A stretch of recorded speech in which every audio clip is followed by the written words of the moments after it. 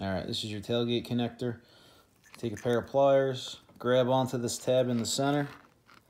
Make sure that you don't hit any of the terminals. Pull it out. It's gonna come out all the way. Just pull it out and then push it back to the first click so it's not seated all the way.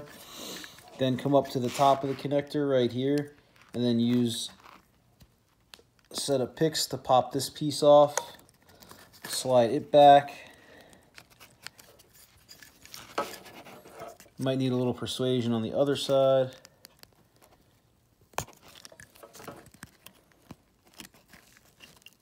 Like so.